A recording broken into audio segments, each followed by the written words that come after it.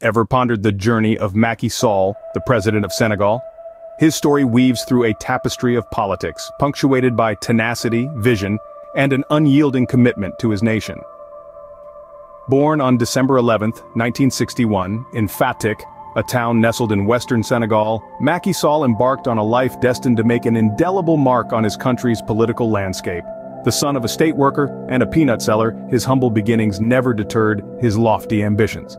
Sall's academic prowess led him to the University of Dakar where he pursued geology and later earth physics, earning a degree in both. His fascination with the Earth's dynamics hinted at the profound understanding of the world that would later inform his political ideologies. The year 1983 marked a significant turning point in Sall's life. It was then that he joined the Senegalese Democratic Party, setting the foundation for a career in public service.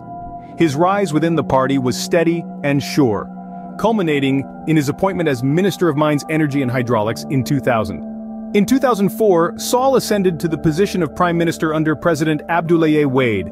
His tenure was marked by a focused commitment to infrastructure, education and economic development.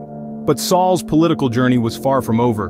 In 2012, Sall's steadfast dedication to his people and his country saw him rise to the highest office in the land.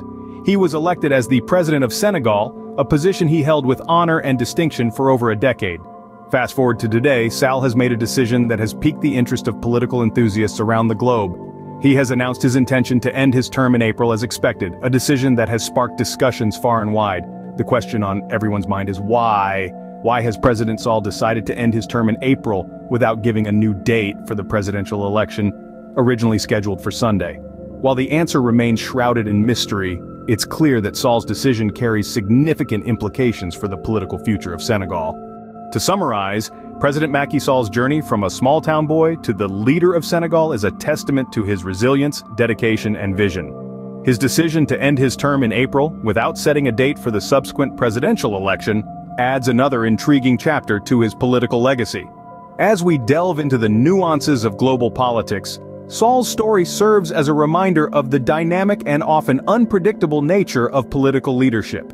Whether his decision marks the end of an era or the beginning of a new political paradigm for Senegal, only time will reveal.